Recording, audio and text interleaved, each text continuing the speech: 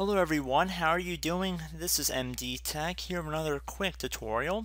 Today I'm going to show you guys how to download and install multiple programs at the same time on your Windows computer.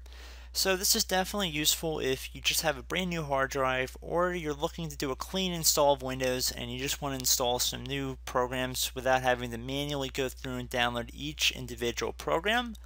While this software solution I'm going to be showing in this tutorial will not likely download every piece of software you use. It will definitely be able to help you, especially if you use a lot of software, at least get four or five pieces of software you very likely use. So in this brief tutorial, I'm going to showing you guys how to do that. So I'm going to just open up a web browser here. It doesn't matter what you use, but I'm going to just open up Microsoft Edge. And then through Google, I'm going to type in N-I-N-I-T-E. And then I'm going to hit enter. So Ninite. One of the best matches that comes up should say Ninite. Install or update multiple apps at once. Now I apologize if I'm pronouncing it wrong, but that's what we're going to be pronouncing it with for this tutorial. So I'm going to just click on that page to open it up. Now this should be a free application. You do not want to get the professional version unless of course you do want to help the developers of the software. I'm not advocating that though, I just don't want you downloading it from a different site that's asking for money in order to download because this should be a free download for the base product for home use. So it's going to say pick the apps you want. So let's say we want to download some web browsers here. So we can download Chrome, Firefox, Opera, even if we wanted to. For security, I'd not recommend downloading Essentials for Windows 10. Don't even know if it would let you do that because Windows Defender is on there but you can download a variety of security software packages. You can also download different popular developer tools like Python, Java Development Kit, and Visual Studio Code. And you can get Dropbox, LibreOffice, and OpenOffice Suite, Google Earth, and so forth. There's a lot of different applications you can download and install in one go here.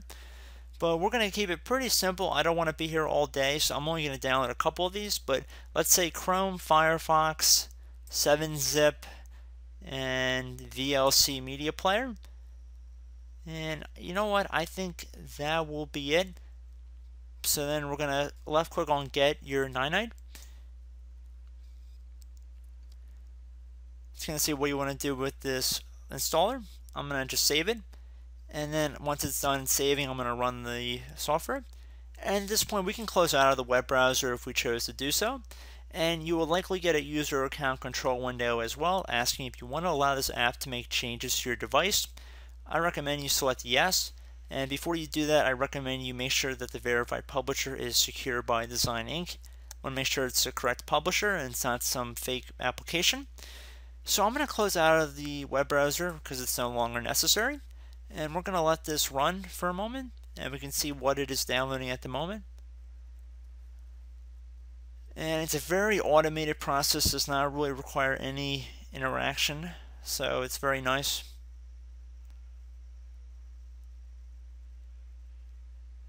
And what I also like about this application is it does keep all the software that it uses up to date so it will go out and find the latest version of Google Chrome, Avira, Avast antivirus or whatnot.